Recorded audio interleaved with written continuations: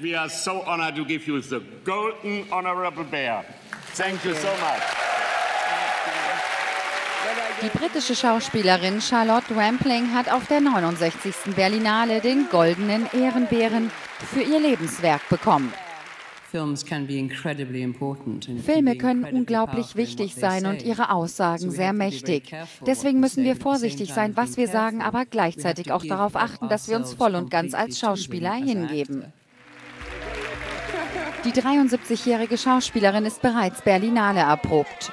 Für 45 Years bekam sie 2015 hier den Preis als beste Schauspielerin und 2006 war sie Vorsitzende der internationalen Jury in Berlin. Alles, was Sie im Leben erreichen, müssen Sie wirklich wollen und Sie müssen Ihr Leben dem widmen, was Sie tun wollen. Das bedeutet nicht unbedingt Opfer zu bringen, aber etwas wirklich und von ganzem Herzen erreichen zu wollen, bedeutet immer danach zu streben und sich bewusst zu sein, dass es eine Menge Probleme auf dem Weg zum Ziel geben wird.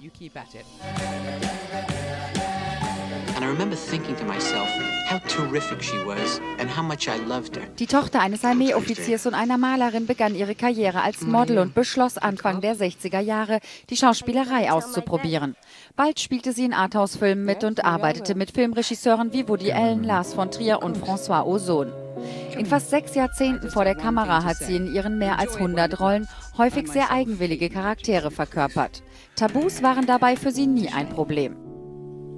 Die Berlinale ehrt mit Charlotte Rampling die Karriere einer Ikone des unkonventionellen, aufregenden Arthouse-Kinos. Eine tolle Schauspielerin, eine starke Frau, die nie Angst vor Kontroversen um ihre Rollen hatte und eine Weltbürgerin, die auf Englisch, Französisch und Italienisch arbeiten kann. Wolfgang Spindler from Berlin for Euronews.